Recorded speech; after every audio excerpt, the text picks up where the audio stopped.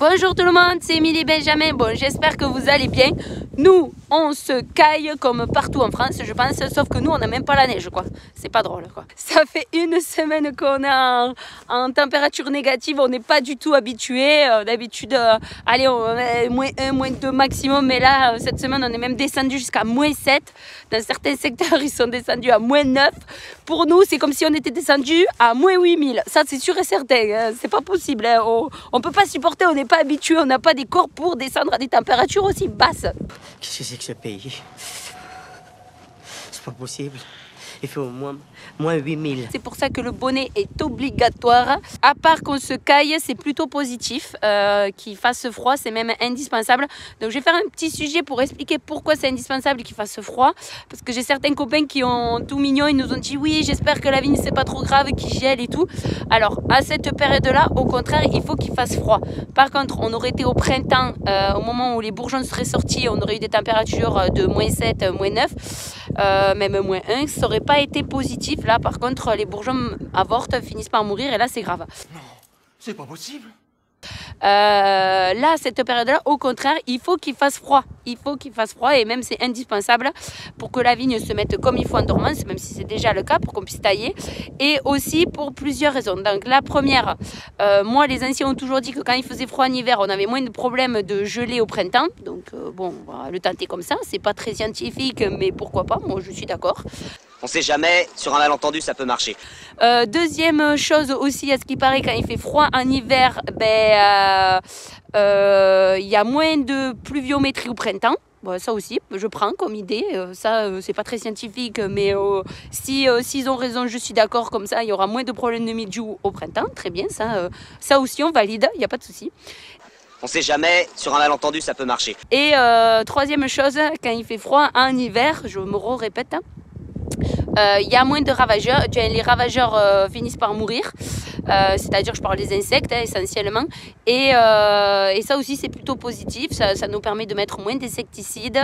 Euh, donc ça aussi c'est, je, valide aussi. Donc tout ce qui peut nous arranger pour la suite de la saison, nous on est tout à fait d'accord. Donc il peut faire froid pendant encore un mois, on est, on est d'accord. Bon après c'est sûr qu'on aura sûrement perdu nos orteils et nos, et nos doigts de main, ça, bon, ça c'est fort probable parce que ben, on n'est pas habitué, notre corps n'est pas habitué, nous dans le sud, à avoir des températures aussi basse. Qu'est-ce que c'est que ce pays? C'est pas possible. Il fait au moins, moins 8000. Mais bon, après, c'est pas grave si on n'a plus d'orteils et plus de doigts, tant qu'on n'a pas de problème au printemps, qu'on n'est pas obligé de traiter, nous on est d'accord. On est tout à fait d'accord. bon, enfin bref. Donc, à cette période-là, quand il fait froid, on en profite effectivement aussi pour continuer à tailler. Donc, ça fait depuis à peu près début décembre qu'on a commencé la taille. Et euh, là, on est en train de tailler un colombard qui est en taille mécanique, qui lui est préparé pour de la taille mécanique, puisque vous pouvez voir derrière moi, il n'y a pas de releveur, il y a juste le fil porteur. Donc, cette rangée, elle a été passée, elle a été, elle a été passée après tailleuse et tailleuse. Et de ce côté-là, Ici, là, on est au pré-tailleuse, tailleuse et repasse manuel. Donc là, c'est fini. Ce côté-là, on l'a fait. Ce côté-là, il faut le finir. Voilà. Donc euh, là, je suis équipée avec des sécateurs électriques. Mes gants aussi, puisqu'il fait un froid de canard, on va perdre euh, donc les doigts. Donc euh, mes 10. Euh, cette année, on a, on a équipé un de nos employés avec 3015 et c'est plutôt pas mal. ils sont beaucoup plus légers. donc voilà, mais bon, la galanterie a fait qu'on a laissé aux plus anciens. Euh, voilà, donc là on est parti pour mettre des petits coups de sécateur un petit peu à droite à gauche. Je vous montre, je vais essayer de faire ça avec la caméra. Donc soyez indulgents. Donc j'ai inversé la caméra et je vais passer euh, là... Euh, attendez, j'allume les sécateurs, c'est mieux.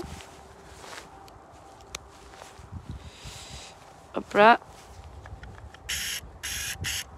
Allez, c'est parti. Donc, on va enlever tout ce que la machine n'a pas pu retirer.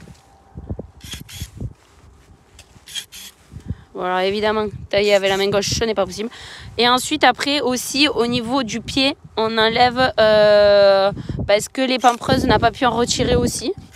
Parce que ça, tout ça, c'est des choses euh, un peu inutiles. Oui, alors ne regardez pas mon vernis pourri, c'est ma fille qui me l'a posé. Pas de commentaires, s'il vous plaît. Là par exemple, là, euh, les ben, elle l'a pas eu puisqu'elle monte des fois pas aussi haut et donc ça c'est quelque chose qu'il faut penser à enlever automatiquement. Donc ça on, taille bien à ras. Et ça après tout ce qui part vers le bas, regardez ce- celui-là là, il part vers le bas. Donc ça on le taille bien à ras. Voilà. Pour, euh, parce que ce qui part vers le bas, la machine à vendanger, euh, ça va faire des raisins, la machine à vendanger ne pourra pas le récupérer. Donc, euh, donc voilà. Je vous montre euh, vite fait, vite fait, parce que main gauche, tailler à main gauche, euh, plus tenir la caméra, ce n'est quasiment pas possible. Je ne suis pas du tout productive. parce que bon, le but de cette taille mécanique, vous le savez, c'est d'aller très vite. Euh, donc l'objectif, c'est d'avancer pratiquement comme si on marchait.